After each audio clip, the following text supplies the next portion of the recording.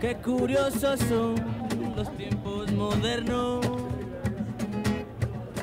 Estar en paz consigo mismo es estar en paz con los demás. Es por eso que hoy se celebra el cuarto foro de la reconciliación.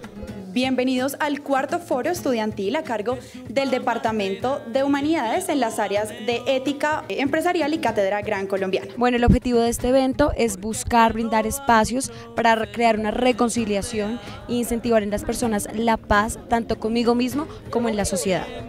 Hoy eh, pensamos hacer una actividad principalmente, eh, la primera que va a tratar de reconciliarme primero conmigo mismo, en el cual le vamos a dar papeles a los estudiantes para que escriban cómo se reconcilian consigo mismo en aquel momento que se han tratado mal. Ya después vamos a ir con los compañeros por toda la universidad mostrando las camisas como sinónimo de reconciliación con el otro.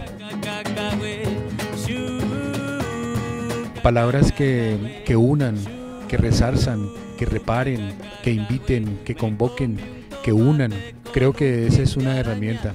Podemos empezar desde nosotros mismos, desde mirándonos como personas y cuando partamos desde ese ejercicio podemos reconciliarnos con los demás. Yo me reconcilio conmigo mismo.